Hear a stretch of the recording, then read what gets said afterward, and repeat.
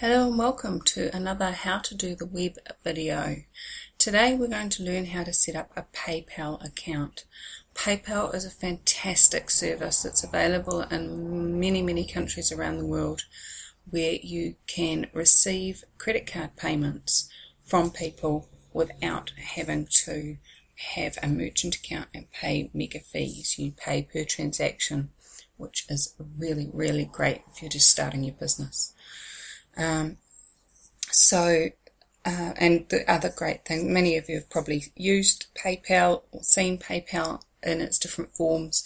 You can create buy now buttons, you can buy, create subscribe buttons, you can um, you can have um, people uh, buy like paying for classes by clicking on links um, all those sorts of things, and it's very, very easy to use if you are willing to know a few basics. Um, so the first thing we're going to do is we're going to sign up. So uh, to find PayPal, it's at paypal.com, um, and there is uh, this. This is the page that, or something similar, will show up, and up here in the top left top right hand corner um, is a sign up button. So if you go ahead and click on that sign up button, it will take you in and it, it is one of those follow along with the prompts options. Now, um, I'm based in New Zealand, so I would choose New Zealand, but there are all sorts of different countries in there. So choose your country or region. Again, choose your language. They only have the options of English, Spanish, French and Chinese in this 10 seconds. What would it take for that to grow? So um, now, different people use this for different things, um, and there are different different ways of using it. There are different levels of necessity, um, and now I'm not going to go into the details, but you can read more about that um, if you choose to. If you just have a basic one that you've set up from paying somebody online, you can upgrade that. That's no problem at all. I'm going to choose the Premier for individuals who buy and sell online. So we're going to go through for that. Um, and it's literally just fill in the blanks.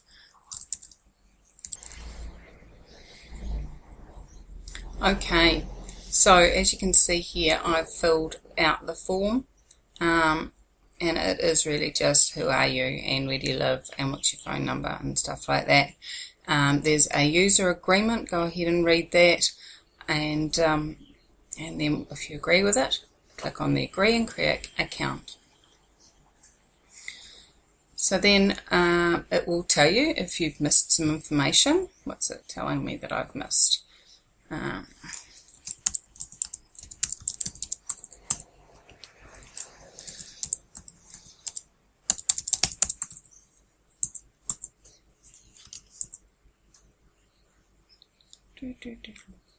ah, it's telling me that I've not put in a valid number. I tried to make it an internationally recognised number, but it wants to have the New Zealand version of it. It's fine. And then it's going to check that you're a real person by showing you one of these screens. DKFPMH is what it says in there. So I type that in and click OK, click continue. That's just checking you're not some robot coming in and trying to, to do that. Now, um, to get started, you need to confirm your email. What they've done is they've sent an email address, email to my um, my Gmail that I sent setting it up as. And um, now you don't have to set up a credit card at this point. That is really is just a um, something that you can skip through. And so at some stage soon, I'm going to receive a email coming into my Gmail account and um, and I will be able to click on that link. Okay, so now we've got that um, welcome to PayPal email come through, as you can see here. Uh, so go ahead and click on that. It can take, you know, 15 minutes for that to come through or longer, depending on how busy they are and how what sort of email service you're using. Um, so if you scroll down in this PayPal email, it'll it's got there. Thanks for joining. Add your credit card. Um, just confirming the information there. Now, this is your confirmation code here um, that you will need to use. Uh, okay, so over here you have your confirm email address over on the right hand side. Uh, so if you click on the confirm email address, and it will say go to your email, click the confirm um, email button. Now, uh, whoops, where am I? Go back and go back to that email there. Um, it may be, doesn't seem to have a confirm email button.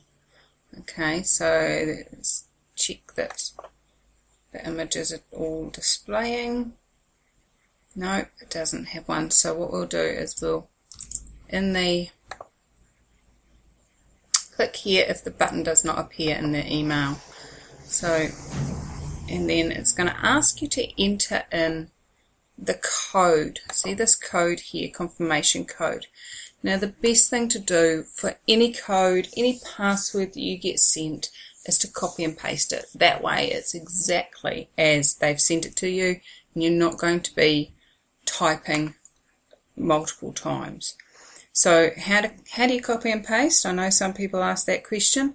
So if you click at the beginning and hold your finger down on the right mouse button, uh, sorry, left mouse button if you're on a PC, um, and then just move the mouse across till you get to the end and the whole thing is highlighted, then release your finger.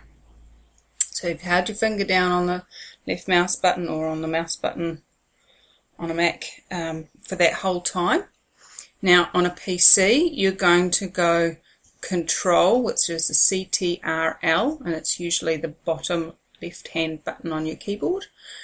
And on a Mac, you're going to use the command, which is the one with the the symbol that's got like the four circles in the corners joined together. I can't think of a better way of describing that, sorry. So you're going to have hold down either Control or Command, which if you're on a PC or a Mac, and then C, C for copy. So it doesn't show anything on the screen that you've done anything.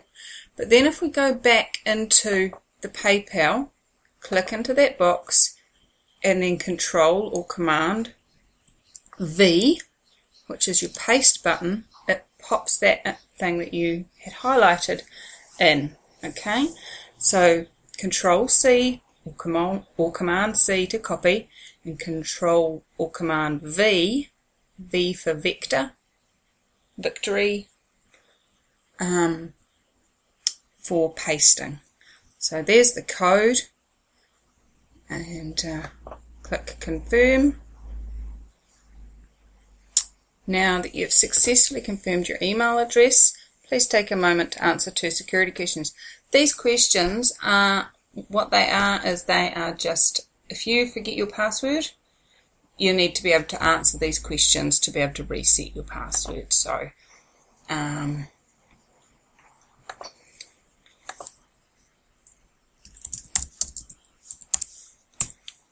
I'm just going to pop in a couple there. Uh,